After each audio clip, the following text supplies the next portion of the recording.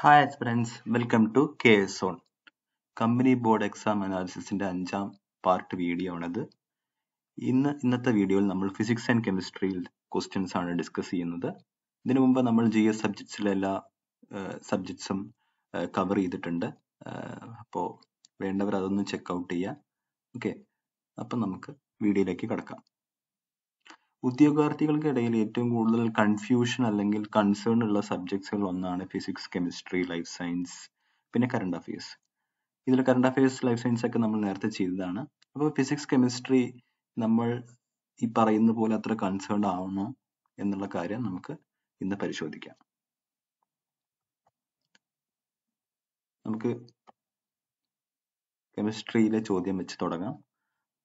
കെമിസ്ട്രിയിലെ ചോദ്യമായിരുന്നു which of the following is not a test of alkaloid alkaloid എന്നുള്ളത് നമുക്ക് സിലബസിൽ ഉള്ളതാണ്.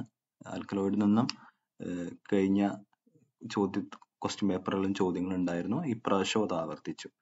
ഈ ആൽക്കലോയിഡിന്റെ ഒരു പ്രത്യേകത എന്താ വെച്ചാൽ എൻ സി ആർ ടിയിൽ അതിൽ കൃത്യമായിട്ട് അതിനെക്കുറിച്ച് കൂടുതൽ ഡീറ്റെയിൽസ് കൊടുത്തിട്ടില്ല. അപ്പോൾ ഇന്റർനെറ്റ് റിസോഴ്സസ് തന്നെയാണ് P S C questions frame ചെയ്യുന്നത്. ഇതിപ്പോൾ അത്തരത്തിലൊരു ക്വസ്റ്റ്യൻ ആയിരുന്നു. Which of the following is not a test for alkaloid അപ്പോൾ അതിന്റെ ഉത്തരം വരുന്നത് ആൻസർ ഡി ആണ്. ഓക്കെ ഇത് അതിന്റെ സോഴ്സ് ഞാൻ ഇവിടെ പ്രൊവൈഡ് ചെയ്തിട്ടുണ്ട്. Mayer's reagent Wagner's reagent Hager's reagent ഇതൊക്കെ ആൽക്കലോയിഡിന്റെ ടെസ്റ്റുകളാണ് ഇതൊരു ഡയറക്റ്റ് ക്വസ്റ്റ്യൻ ആയിരുന്നു. പക്ഷെ എൻ സി ആർ ടിയിൽ അതിന്റെ കവറേജ് ഇല്ല. അപ്പൊ നമ്മൾ ഇന്റർനെറ്റ് റിസോഴ്സസിൽ തന്നെ ഡിപ്പെൻഡ് ചെയ്യേണ്ട ഒരു ടോപ്പിക് ആണ് ആൽക്കലോയിഡ് ഓക്കെ ഇതിൽ ചോദിച്ച വരാത്ത ഉത്തരം സ്കാൽ സാൽക്കോസ്കി ആയിരുന്നു. അപ്പൊ അതിനെക്കുറിച്ച് ഇവിടെ ജസ്റ്റ് മെൻഷൻ ചെയ്തിട്ടുണ്ട്.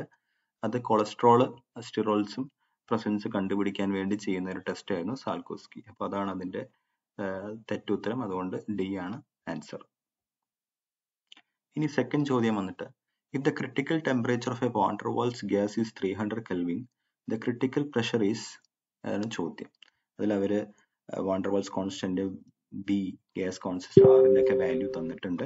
ഓക്കെ അപ്പം നമുക്ക് ചോദ്യത്തിലേക്ക് കടക്കാം. ആക്ച്വലി വാൾസ് ഗ്യാസ് എന്താണ് ഞാൻ ജസ്റ്റ് ഒന്ന് ബ്രീഫ് ആയിട്ട് പറയാം. നമുക്ക് അറിയാം ഐഡിയൽ ഗ്യാസ് ഇക്വേഷൻ അറിയാം P V C equal to N R T അത് ഫോളോ ചെയ്യാത്ത ഗ്യാസുകളുണ്ട് ആ ഒരു ഐഡിയൽ കണ്ടീഷൻസ് ഫോളോ ചെയ്യാത്ത ഗ്യാസുകൾ റിയൽ ഗ്യാസ് എന്ന് പറയും. ആ റിയൽ ഗ്യാസിന്റെ വേറൊരു പേരാണ് van der Waals gas okay van der Waals ഗ്യാസിന്റെ ക്രിട്ടിക്കൽ പ്രഷർ കണ്ടുപിടിക്കുക എന്നുള്ളൊരു ചോദ്യമാണ് പി എസ് സി ചോദിച്ചിട്ടുള്ളത്.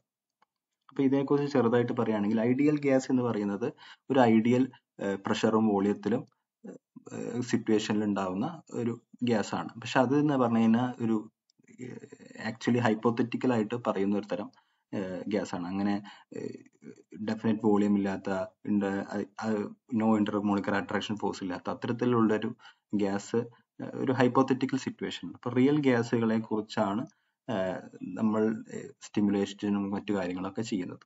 ഓക്കെ അപ്പൊ ഈ P V is equal to N R T എന്നുള്ള ഒരു ഫോർമുല നിങ്ങൾക്ക് സുപരിചിതമാണ്. അപ്പോൾ അത് ഐഡിയൽ ഗ്യാസിനെ ഐഡിയൽ സിറ്റുവേഷനിലുള്ളൊരു ഇതാണ്.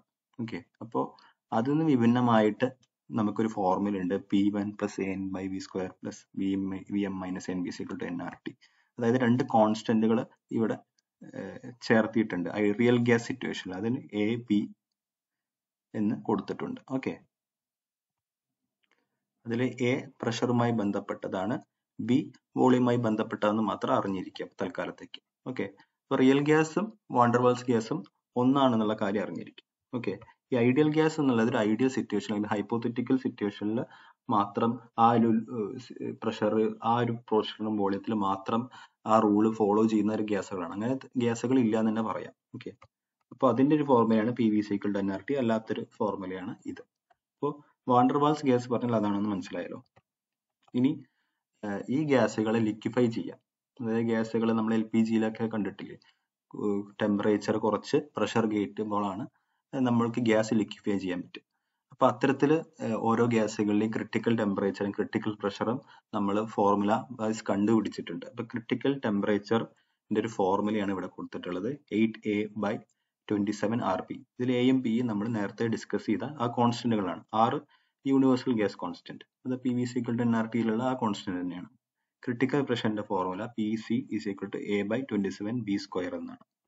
ക്രിട്ടിക്കൽ വോളിയത്തിനെ കുറിച്ചും ഇവിടെ ഡിസ്കസ് ചെയ്തിട്ടുണ്ട്. ഇതും നോക്കി വെക്കുക ഈ ചോദ്യത്തിന് ഇതിന്റെ ആവശ്യമില്ല. എന്നാലും ഇതും അറിഞ്ഞിരിക്കുക V C is equal to critical volume is equal to three B ആണെന്നുള്ള കാര്യം അറിഞ്ഞിരിക്കുക ഇത് ആക്ച്വലി ഉത്തരത്തിലേക്ക് വരുന്നതിന് മുമ്പ് ഞാൻ പറയാം. ഞങ്ങൾ നമ്മൾ നേരത്തെ വീഡിയോ ചെയ്തിട്ടുണ്ടായിരുന്നു. ഫിസിക്സ് കെമിസ്ട്രി അനാലിസിസ് ചെയ്തിട്ടുണ്ടായിരുന്നു.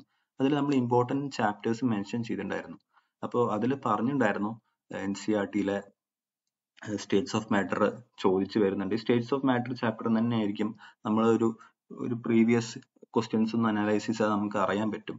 ഒരു അഞ്ചാറ് ക്വസ്റ്റ്യൻസ് ഈ ചാപ്റ്ററിൽ നിന്ന് മാത്രം ചോദിച്ചിട്ടുണ്ട്. ഓക്കെ അപ്പോൾ ഇത് വളരെ ഇമ്പോർട്ടന്റ് ആയ ചാപ്റ്റർ ആണ്. നമ്മൾ അന്നും പറഞ്ഞിട്ടുണ്ടായിരുന്നു ഇപ്പൊ വീണ്ടും അതിൽ നിന്നും ചോദ്യം വന്നു. ഓക്കെ അപ്പോൾ ഈ ഫോർമുല മനസ്സിലാക്കി വെക്കുക ഇനി നമുക്ക് ചോദ്യത്തിലേക്ക് വരാം. അപ്പൊ ചോദ്യം എന്തായിരുന്നു? മുന്നൂറ് കെൽവിൻ ഉള്ള ഒരു ക്രിട്ടിക്കൽ ടെമ്പറേച്ചർ ഉള്ള വാണ്ടർവാൾസ് ഗ്യാസിന്റെ ക്രിട്ടിക്കൽ പ്രഷർ എന്താണെന്നാണ് ചോദ്യം. അപ്പൊ ക്രിട്ടിക്കൽ ടെമ്പറേച്ചർ നമ്മൾ നേരത്തെ പറഞ്ഞ പോലെ eight A by twenty seven R B എന്നുള്ള ഫോർമുല അറിയാം. Critical pressure A by twenty seven B square എന്നുള്ള ഫോർമുല നമുക്കറിയാം. ഇതിൽ ക്രിട്ടിക്കൽ പ്രഷറിന്റെ വാല്യൂ നമ്മൾ ഇട്ട് കൊടുക്കുകയാണ്. അതായത് ഇവിടെ നമ്മൾ ക്രിട്ടിക്കൽ ടെമ്പറേച്ചറിൽ എ ഇവിടെ നമുക്ക് കിട്ടും. അതായത് twenty seven R B into T C by eight എന്നുള്ളത് ഇവിടെ നമ്മൾ ഈ എയിൽ ഇട്ട് കൊടുക്കുന്നു. അപ്പോൾ ഇവിടെ twenty seven twenty seven cut ചെയ്ത് പോകുന്നു ബി ബി കട്ട് ചെയ്ത് പോകുന്നു. അങ്ങനെ നമുക്ക് critical pressure twenty seven T C R by eight into twenty seven into B പിന്നെ T C R by eight B cut ചെയ്ത് പോകുന്ന കാര്യങ്ങൾ നോക്കുക. ഓക്കെ അങ്ങനെ നമുക്ക് T C R by eight B എന്ന് കിട്ടുന്നു. അത് ഇക്വേറ്റ് ചെയ്യുമ്പോൾ ക്രിട്ടിക്കൽ ടെമ്പറേ ടെമ്പറേച്ചർ എത്ര മുന്നൂറ് കെൽവിൻ കൊടുത്തിട്ടുണ്ട്. യൂണിവേഴ്സൽ ഗ്യാസ് കോൺസ്റ്റന്റ് വാല്യൂ ഇവിടെ തന്നിട്ടുണ്ട് point zero eight by eight B eight into B എത്രയാണുള്ള value ഇവിടെ തന്നിട്ടുണ്ട് zero point zero two okay ഇവിടെ നമുക്ക് പെട്ടെന്ന് കാൽക്കുലേറ്റ് ചെയ്ത് പോവാം. എന്താ എട്ട് പോയിന്റ് സീറോ എയ്റ്റ് ഓക്കെ അപ്പോൾ ഇത് കട്ട് ചെയ്ത് പോകുമ്പോൾ ഇവിടെ ഇവിടെ താഴെ നൂറ് വരും. നൂറിനെ പോയിന്റ് സീറോ ടു കൊണ്ട് ചെയ്ത് കഴിഞ്ഞാൽ നമുക്ക് നൂറ് ഇന്റു ഇരുന്നൂറ് ഇപ്പം രണ്ട് വരും. മുന്നൂറ് ബൈ രണ്ട് നൂറ്റി അമ്പത് ഏകദേശം വരും. ഇപ്പം നൂറ്റി അമ്പതിനോട് അടുത്ത് കിടക്കുന്നത് നൂറ്റി അമ്പത്തി നാല് ഓക്കെ. ഇതിപ്പോൾ ഇങ്ങനെ കണക്ക് കൂട്ടേണ്ട ആവശ്യമൊന്നുമില്ല. നമുക്കൊരു അപ്രോക്സിമേറ്റ് വാല്യൂ കിട്ടിയാൽ മതി. നമുക്ക് അധികം സമയം കളയാൻ വരില്ല ഓക്കെ. അപ്പം നമുക്ക് ഏകദേശം നൂറ്റി അമ്പതുള്ള വാല്യൂ കിട്ടും. അതിനോട് അടുത്ത് കിടക്കുന്ന ഉത്തരം വൺ ഫിഫ്റ്റി ഫോർ ഓക്കെ. ഇതാണ് ഉത്തരം. ഇനി അടുത്ത ചോദ്യത്തിലേക്ക് നോക്കാം. In the emission spectrum of hydrogen, the series resulted from the transition of an electron from fifth level to first level is seen. Okay. ഒരു ആറ്റോമിക് ആറ്റോമിക് ഇതിൽ നിന്ന് ഹയർ സ്റ്റേറ്റിൽ നിന്ന് ലോവർ സ്റ്റേറ്റിലേക്ക് ഇലക്ട്രോൺ എമിറ്റ് ചെയ്യുമ്പോൾ അവിടെ ഒരു ഫോട്ടോൺ അവർ generate ചെയ്യും. ആ ഫോട്ടോൺ ജനറേറ്റ് ചെയ്യുമ്പോൾ അതിന്റെ വേവ് ലെങ്ത് ഒക്കെ ഒരു പ്രത്യേക രീതിയിൽ അറേഞ്ച് ചെയ്തത് ഓരോ സീരീസിന് പേരിട്ടിട്ടുണ്ട്. അപ്പോൾ അത് ഏത് രീതിയിലാണ് വേവ് ലെങ്ത് ഇൻഫ്രാറെഡിലാണോ അൾട്രാ വയലറ്റിലാണോ വിസിബിൾ റേയിലാണോ ഇതിന് ഓരോന്നിനും ഓരോ രീതിയിൽ ഓരോ സീരീസ് ആയിട്ട് ആൾക്കാർ പേര് കൊടുത്ത് മെൻഷൻ ചെയ്തിട്ടുണ്ട്. അപ്പോൾ ആ ഒരു ചോദ്യമാണ് ഇവിടെ ചോദിച്ചിട്ടുള്ളത്. ഇത് നമ്മൾക്ക് എൻ സി ആർ ടിന്ന് ഡയറക്റ്റ് ചോദ്യമാണ് chapter two structure of atom N C R T പതിനൊന്നാം ക്ലാസ് എന്നുള്ള ഡയറക്റ്റ് ക്വസ്റ്റ്യൻ ആണ്. ഇതുവരെ ചോദിച്ചതൊക്കെ ഡയറക്റ്റ് ആണ്. ആൽക്കലോയിഡ് മാത്രം മെൻഷൻ ചെയ്യാത്തതുകൊണ്ട് മാത്രം നിങ്ങൾക്ക് ഇന്റർനെറ്റ് റിസോഴ്സസ് ഡിപ്പെൻഡ് ചെയ്യേണ്ടി വരും. ഓക്കെ അപ്പൊ ഇത് എൻ സി ആർ ടി എന്നുള്ള ക്ലിപ്സ് ആണ് നമ്മൾ പോസ്റ്റ് ചെയ്തിട്ടുള്ളത്. ഓക്കെ ഇതിൽ Lyman Balmer Paschen Brackett Pfund എന്നങ്ങനെ പറഞ്ഞ സീരീസ് ഉണ്ട്. ഇവിടെ നോക്കുക നമ്മൾ ഫിഫ്ത്ത് സെക്കൻഡിലേക്ക് ഏതാണ് ഈ ഒരു ഓർബിറ്റ് ആണ് നമ്മൾ അറിഞ്ഞിരിക്കേണ്ടത്. എവിടുന്ന് എവിടേക്കാണെന്നുള്ള കാര്യമാണ് ഇരിക്കുന്നത്. From fifth to first energy first എനർജിയിലേക്കാണ് പോകേണ്ടത്. അപ്പോൾ ഇവിടെ ഫസ്റ്റ് എനർജി വണ്ണ് കൊടുത്തിട്ടുണ്ട്. ബാക്കി ഇത് ഈ നമ്പർ നമ്മൾ അത്ര ബോധേഡ് കാര്യമില്ല. ഇപ്പോൾ fifth two three four five ഏത് ഷെല്ലിന്നും ഇങ്ങോട്ട് ഫസ്റ്റിലേക്ക് ചാടുമ്പോൾ അത് ലൈമൻ സീരീസ് ആയിരിക്കും. ലൈമൻ സീരീസിന്റെ സ്പെക്ട്രം റീജിയൻ അൾട്രാ വൈലറ്റ് ആയിരിക്കും അപ്പോൾ ഓപ്ഷൻ എ ആണ് ഉത്തരം. ഓക്കെ. ഇവിടെ ഇതാ കൊടുത്തിട്ടുണ്ട് transition of electron from excited state to lower energy സ്റ്റേറ്റ്സിന്റെ emission spectrum of hydrogen atom ഓരോ സീരീസ് കൊടുത്തിട്ടുണ്ട്. ഇവിടെ എൻ മണ്ണ് ഒന്നിലേക്കാണ് വരുന്നത്. അപ്പോൾ ലൈമൻ സീരീസ് ആണ്. അപ്പോൾ അൾട്രാ വയലറ്റ് ആണ്. അപ്പോൾ ഓപ്ഷൻ എ ഉത്തരം. ഡയറക്റ്റ് ക്വസ്റ്റ്യൻ ആണ്. അപ്പോൾ കെമിസ്ട്രിയിലെ മൂന്ന് ചോദ്യങ്ങൾ നമ്മൾ തീർന്നു. അതിൽ മൂന്ന് ചോദ്യത്തിൽ രണ്ടെണ്ണം എൻ സി ആർ ടി വായിച്ചവർക്ക് സോൾവ് ചെയ്യാൻ പറ്റുന്ന ചോദ്യങ്ങളായിരുന്നു.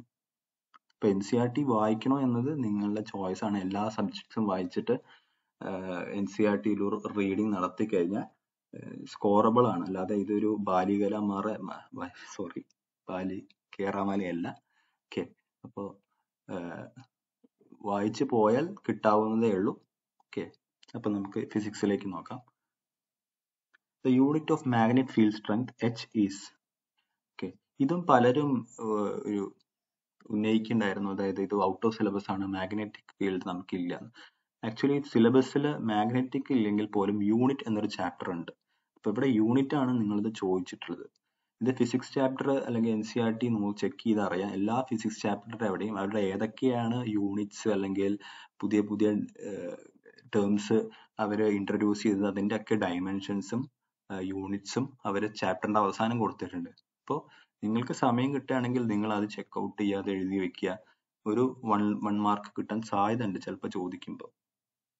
ഓക്കെ അപ്പോൾ ഇത് chapter twelve sorry class twelve N C R T എന്നുള്ള ചോദ്യം തന്നെയാണ്. ചാപ്റ്റർ ഫിഫ്ത്ത് മാഗ്നറ്റിസം മാറ്റർ ഇതേപോലെ ഒരു പുതിയ ടേം ഇൻട്രൊഡ്യൂസ് ചെയ്യുമ്പോൾ അവർ അവസാനം കൊടുത്തിട്ടുണ്ടായിരുന്നു.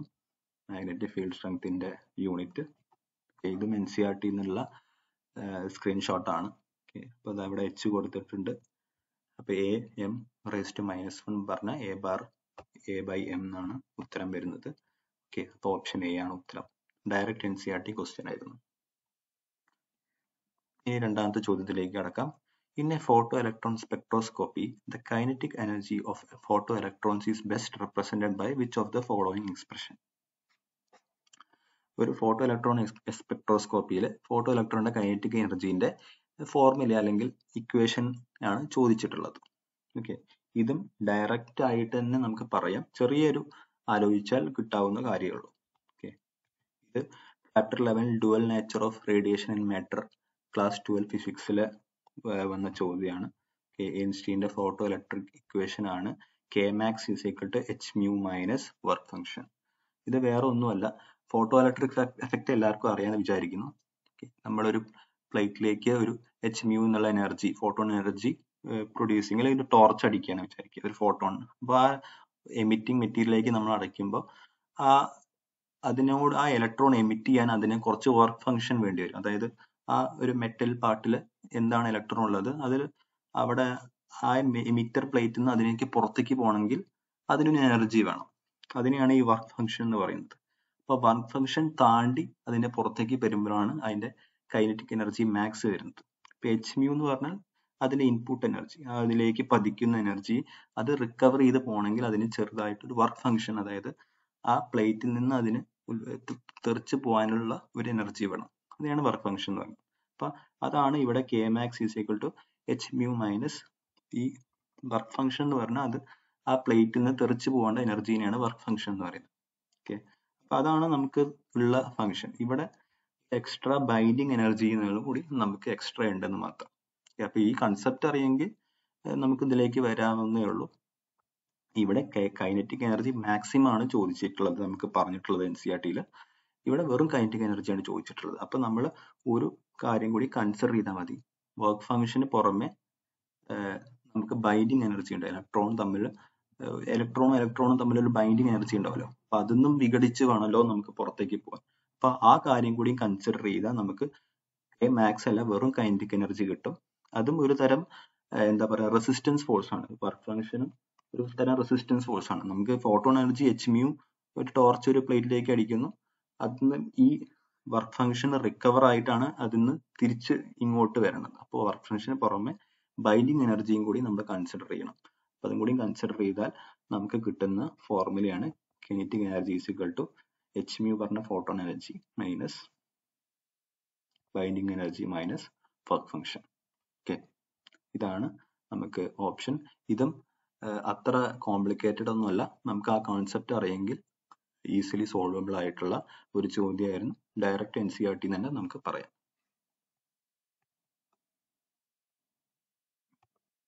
ഇനി അടുത്ത ചോദ്യം മൂന്നാമത്തെ ചോദ്യം. Shortest wavelength present in the radiation from an X-ray machine whose accelerating potential is forty K V ഇതും അതിനോടനുബന്ധിച്ച ഒരു ചോദ്യം തന്നെ പറയാം. ഒരു ഇലക്ട്രോമാഗ്നറ്റിക് സ്പെക്ട്രം ആ രീതിയിലുള്ള ചോദ്യമായിരുന്നു. ഇത് ക്ലാസ് ട്വൽവ് ചാപ്റ്റർ എയ്റ്റിൽ വന്ന ചോദ്യമാണ്. ഇത് കുറച്ച് ഒരു ഇക്വേഷനിൽ നമ്മൾ ഇട്ട് കൊടുക്കണം. ഒരു കുറച്ച് കാൽക്കുലേറ്റീവ് ആണ്. അത്രയേ ഉള്ളൂ. പക്ഷെ നമ്മുടെ സ്കോപ്പ് എക്സാമിന്റെ സ്കോപ്പ് വെച്ചിട്ട് നമുക്ക് ഇതിലെ യൂണിറ്റ്സും ഒന്നും തന്നിട്ടില്ല. അത് കുറച്ചൊരു പ്രോബ്ലമാറ്റിക് ആയിട്ട് തോന്നും.